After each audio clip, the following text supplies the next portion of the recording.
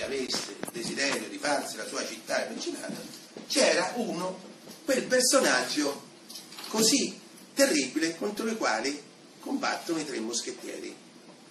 Chi è il personaggio terribile contro il quale? Eh? Infido, eccetera, combattono i tre moschettieri. I tre moschettieri sono dalla parte della regina, ma c'era quello che era dalla parte del potere, che il potere poi era lui.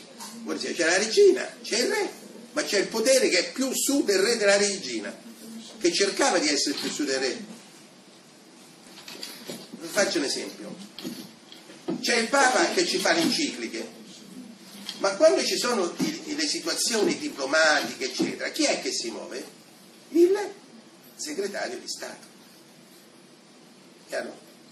Il segretario di Stato è quello che, che, che ha i rapporti diplomatici, internazionali, di tutto quanto, così come il Presidente della Repubblica, ma quello che si muove è il Presidente del Consiglio. Eh, eccetera. Chi era? Il, il cardinale Richelieu, di famiglia aristocratica, e vicino al suo castello di Richelieu, perché il cardinale dei Richelieu, cost- fa costruire questa città. Eh, il castello sta qua, eh? Adesso vedrete quello schema.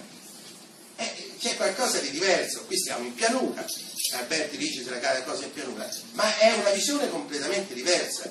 Tant'è vero che quello che leggerete dopo sta in un libro bellissimo in francese, La mano del potere si chiama, perché questa è un'espressione assoluta di potere. In poche parole si entra da qui, una prima piazza, larga, un corso, un asse dritto, un'altra piazza e poi qua c'è il castello. Ma il discorso va rovesciato. C'è lui che sta nel castello e che da qui controlla tutto quanto. È una visione analoga ma diversa. Vediamo il seguito. Ecco, ve lo lascio. Ecco qual è